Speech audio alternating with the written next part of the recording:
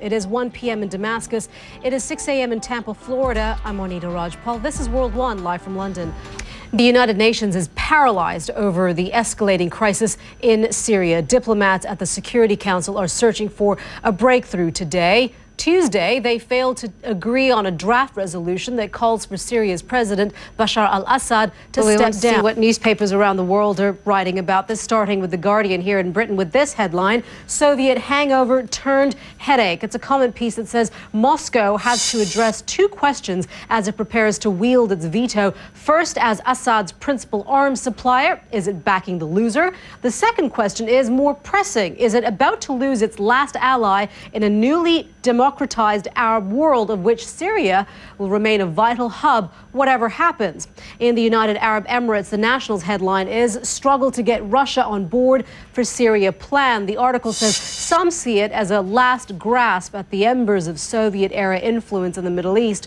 One question facing diplomats is whether Russia might be willing to cut off Mr. al Assad if it could maintain its arms contracts and other arrangements with a successor government. And finally, the headline in the Oman Daily Observer is Global Power Politics in the Middle East. And it's editorial that goes on to say with both Moscow and Beijing facing an uptick in protest on their own territory in the last year, neither has any desire to watch another leader dragged from office. More now on a story that many of you will find disturbing. Killings and murders have been going on for the better part of a year in Syria. As we reported the story, we've been careful about what we show you. Today, we're showing you images that are far more graphic than we've previously shown, but CNN believes it is necessary to demonstrate the brutality of this crackdown and its effects on innocent families. This is Arwa Damon's report. In the U.S. presidential race, Republican voters in the state of Florida have spoken, and now it is the candidates who won't stop talking. They're all putting their own spin on the results of Tuesday's primary, which looked like this. Mitt Romney won the Sunshine State with almost half the voters, well ahead of Newt Gingrich, who got 32 percent.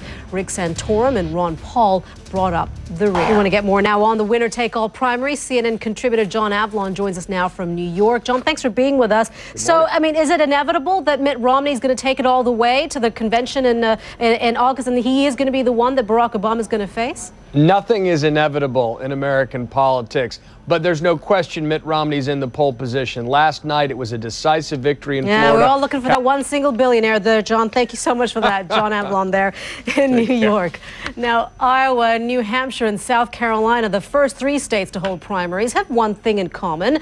They are sparsely populated and predominantly white. But as Jonathan Mann explains, Florida is the very opposite. Florida is America's fourth most populous state and one of the most ethnically diverse.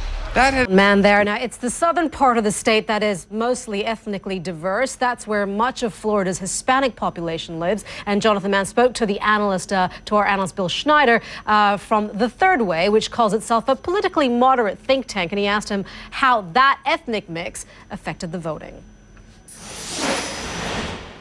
It really didn't uh, because everybody voted for Mitt Romney over Newt Gingrich. The only I'm talking to Bill Schneider there minus 27 degrees Celsius. That was the temperature in Bucharest, Romania before sunrise this Wednesday. An extreme cold snap has killed at least 50 people across Europe, 30 of them in Ukraine.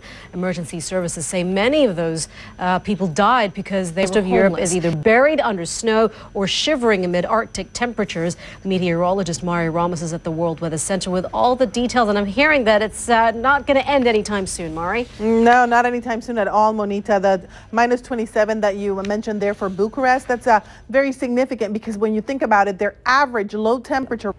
Time to brace ourselves there, Mari. Thank you so much for that. This is World One Live from London when we return. The Pakistani military says its jets launched an, uh, a raid on Taliban bases early Wednesday, killing around 30 insurgents. An official said the Air Force was gunning for Taliban hideouts in tribal areas near the Afghanistan border and claimed the attack may have killed a Taliban commander. According to the military, the raid was retaliation for a Taliban attack on a security post just a day earlier, which killed at least um, eight soldiers. Now, the Pakistani Foreign Office has denied claims its spy agency is helping the Taliban in Afghanistan. The allegations apparently surfaced in a report that U.S. forces compiled for NATO. A spokesman for the Foreign Office told CNN the accusations are frivolous.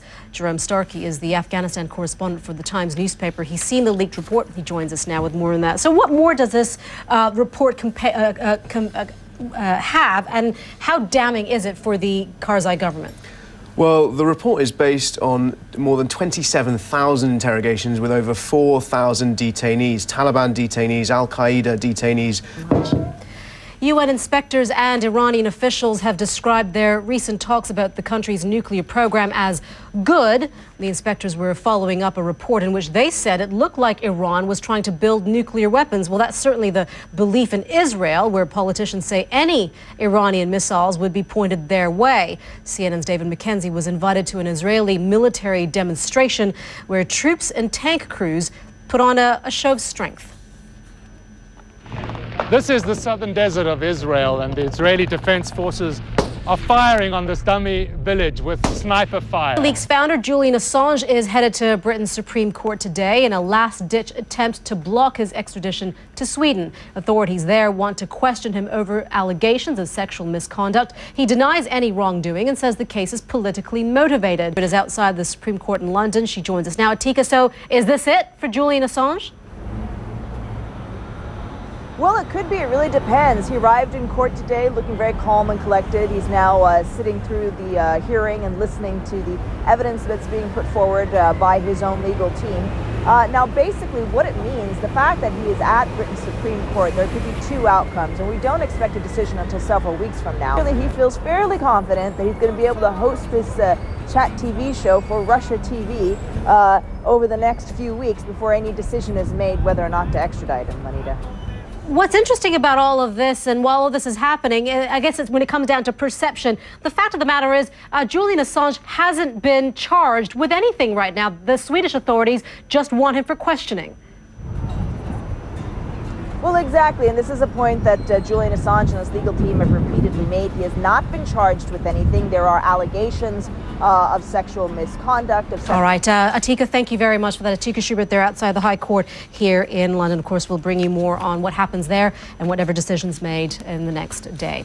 Now, we want to go back to one of our top stories here on World One. Pakistan is denying claims contained in a leaked NATO report that Pakistani forces are directly assisting the Taliban in Afghanistan. Brigadier General Carsten Jacobson joins us now down the line from Kabul. He is the spokesman for the International Security Assistance Force. Sir, thank you very much uh, for being with us. Um, from, from what we understand from this leaked NATO document, does it actually reflect ISAF's assessment on the ground?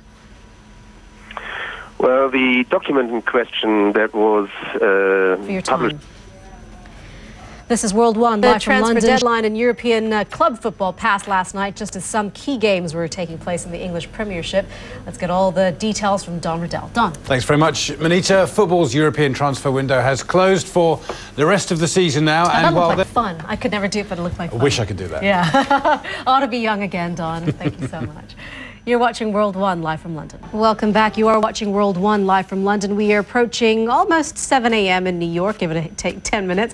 1 p.m. in Berlin, and it's almost 9 p.m. in Tokyo. As the rumors reach fever pitch, the world's largest social media site may be about to hold an initial public offering. Facebook is reportedly filing papers later today with the U.S. Securities and Exchange Commission for an IPO that could come as soon as May. Commentators say it's looking to raise $5 billion dollars in a New York listing. Facebook is worth an estimated 75 to 100 billion dollars. Now, that's one of the stories generating a lot of interest on social media right now. Facebook users are concerned about how the social network's listing could affect their user experience. There's a fair bit of negative sentiment online. A lot of people say they feel Facebook's decision to launch an IPO is a sellout. Also causing a stir, Fred Goodwin, as we've been telling you, the former boss of the Royal Bank of Scotland has been stripped of his knighthood. On Twitter, British Labour Party leader Ed Miliband said it is right right that Fred Goodwin has lost his knighthood, but it's only the start of the change we need in our boardrooms. But there are others who say Goodwin is just being used as a scapegoat. Scapegoat, sorry, and also trending an online campaign to boycott Apple products is gathering some steam. The New York Times recently reported on the working conditions at Chinese factories making gadgets for Apple. One website, uh, change.org, has collected 145,000 signatures from people calling on the company to do more to protect the workers. This January, CNN's been uh, keeping you up to date with the race to be uh, the Republican presidential candidate from caucuses in Iowa to Tuesday's primary in Florida. Instead of asking which candidate can carry the next state, how about which one can carry a tune? Jeanne Moos did some research. When a candidate sings, America. Well, we saw there Stephen Colbert from the, the, Colbert Report. Well, he also wanted to highlight what he calls the absurdity of the so-called uh, super PAC. That's a political action committee that is allowed to raise unlimited funds to support a candidate. So he decided to form his own super PAC and called it Americans for a Better Tomorrow Tomorrow. But you're watching World One live from London. I'm Monita Rajpal. Thank you for joining us. Stay with us. We'll bring you more World One in just a couple minutes.